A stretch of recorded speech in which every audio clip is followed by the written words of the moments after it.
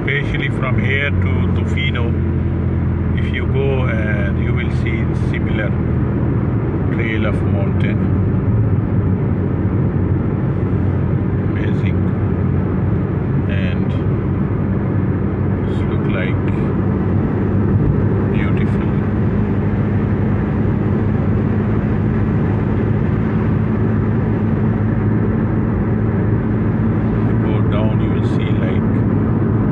night. Because of